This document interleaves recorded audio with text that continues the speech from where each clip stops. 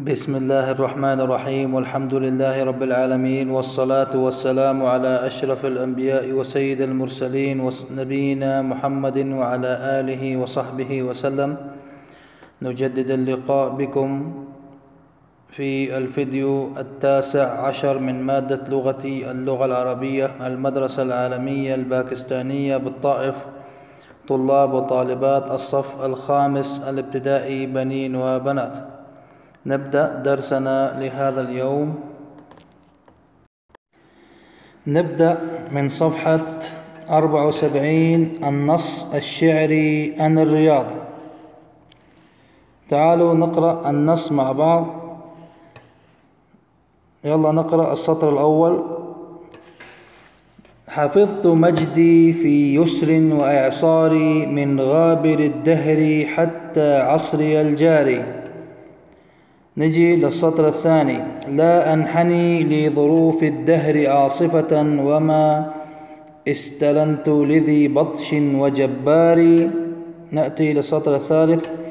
أنا الرياض أقص اليوم ملحمتي مع الدهور التي ولت بإدباري. نجي للصف الرابع. طفت الزمان على أمشاجه صعدا ما بين منبسط عيشا وإقتار نجي للسطور اللي بعده. ما بين مجد سري سري الأصل مزدهر وبين بؤس صفيق الوجه مقفار السطر اللي بعده.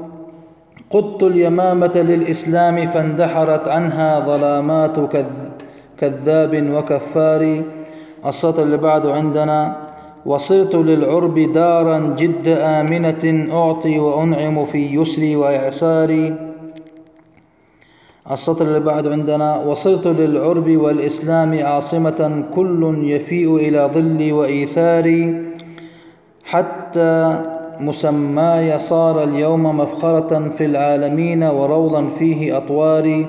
ما عدت حجرا وللأسمى مقاصدها صرت الرياض يضيع الدهر أخباري. يا سلام. اكتبوا على النشيد مو حفظ غيب اكتبوا على النشيد واجب في الدفتر. تكتبوا النشيد واجب في الدفتر. واجب في الدفتر. تكتبوه في دفتر العربي. طيب تعالوا نقرأ مع بعض المعجم المساعد. إيش عندنا في المعجم المساعد؟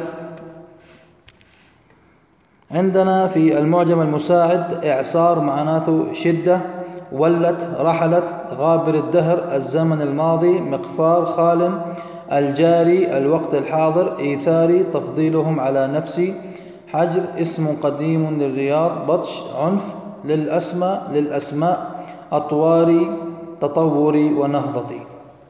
طيب نجي للصفحة اللي بعده صفحة 74 نجي لصفحة 75 قصدي افتحوا صفحة 75 نقرأ أتعرف الشاعر من الشاعر اللي كتب القصيدة؟ هو عبد الله بن عبد العزيز بن إدريس ولد في بلدة حرمة بمنطقة سدير عام 1347 هجري تخرج في كلية الشريعة عين رئيسا للنادي الأدبي بالرياض كان عضوا في كثير من المؤسسات الثقافية حصل على العديد من الجوائز والأوسمة وكرم في عدد من المناسبات له عدد من المؤلفات والدواوين الشعرية. منها ديوان في زورقي وديوان أأرحل قبلك أم ترحلين. طيب نأتي إلى الأسئلة. أقرأ. واحد أختار إحدى الصور المصاحبة للنص وأعبر عنها في جملتين مفيدتين. نكتب مع بعض اكتبوا بخط حلو. يقع ملعب الملك فهد الدولي في الجزء الشرقي من مدينة الرياض. اكتب الجملة الثانية هنا نهاية الجملة حطوا نقطة. نكتب الجملة الثانية يلقب ملعب الملك فهد الدولي بملعب الخيمة. يا سلام. نأتي للسؤال الثاني. اثنين أقرأ النص ثم أكمل المخطط الآتي وفق ما ورد في القصيدة. طيب من هو قائل النص؟ اللي كتب النص قائل النص. قائل النص عبد الله بن عبد العزيز بن إدريس. اكتبوا. أسلوب نفي. ها نكتب. لا أنحني لظروف الدهر عاصفة ألفاظ تدل على فخر الرياض بنفسها. لا أنحني. قدت اليمامة. صرت للعرب والإسلام عاصمة. يا سلام. ممتازين. نجي لصفحة 76 إيش عندنا صفحة 76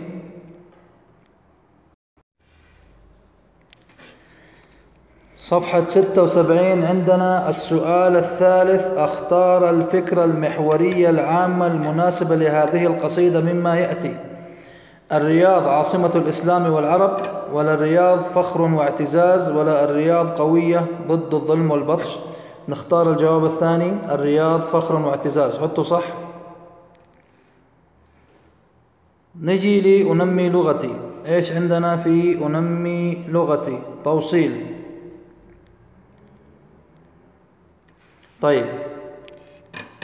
نقرأ السؤال مع بعض. أنمي لغتي. واحد أصل كل تركيب في المجموعة ألف بما يدل عليه في المجموعة باء.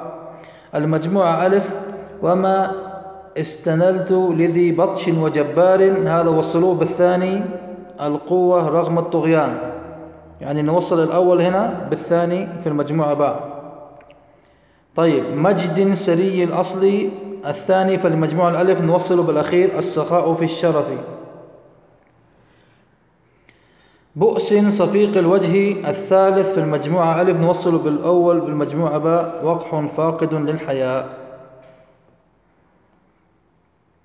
طيب نجي للسؤال الثاني. إيش عندنا في السؤال الثاني؟ نقرأ السؤال مع بعض عشان نحله مع بعض. اثنين أبحث في القصيدة عن الكلمات التي تدل على المعاني الآتية واكتبها. فراغ عمل قصصي له قواعد يشاد فيه بذكر الأبطال والملوك. ها ملحمتي. اكتب ملحمتي.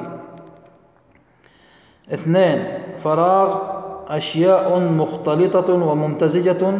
أمشاجه نكتب أمشاجه اكتبوا ثلاثة فراغ انهزمت وانكسرت إيش نكتب؟ فاندحرت. اكتبوا فاندحرت. أربعة فراغ يرجع آه عدت.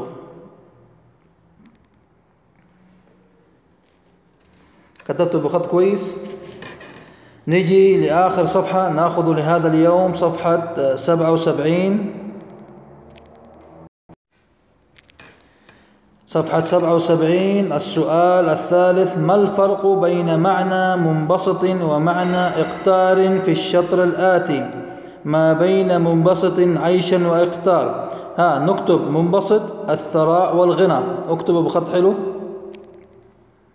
إقتار نكتب الفقر وضيق العيش. اكتبوا بخط حلو. طيب نجي لأفهم وأحلل. إيش عندنا في أفهم وأحلل؟ أفهم وأحلل نجي للسؤال الأول. إيش عندنا في السؤال الأول؟ واحد ما الفترة الزمنية التي حفظت فيها الرياض مجدها في البيت الأول وعلى ما يدل؟ ها نكتب من غابر الدهر حتى العصر الحالي يدل على قوتها.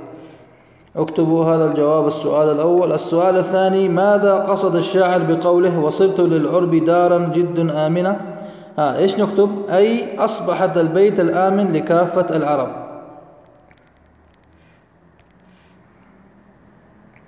السؤال الثالث لما أصبح اسم الرياض اليوم مفخرة؟ ها بسبب مجدها وفخرها وكرمها وعزها.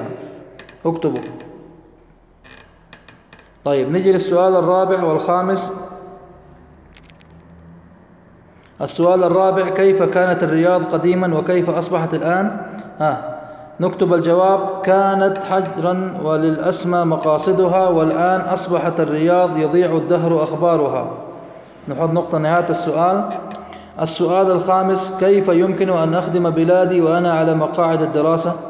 الجواب جدا سهل. نكتب بالاجتهاد في دروسي كي أصبح ناجحا في المستقبل وأخدم وطني.